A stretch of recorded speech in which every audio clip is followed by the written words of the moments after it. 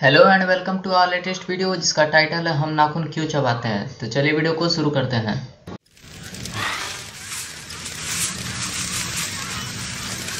नाखून चबाने को ओनिकोफीजिया कहते हैं, और ये एक बुरी आदत है। अब आप सोच रहे होंगे कि आदत बनती कैसे? आदत बनती है तीन चीज़ों से। ट्रिगर एक्शन और रिवॉर्ड कुछ रिसर्चर्स का मानना है कि टूटा हुआ नाखून जो जो दर्द करता है, वो एक ट्रिगर है।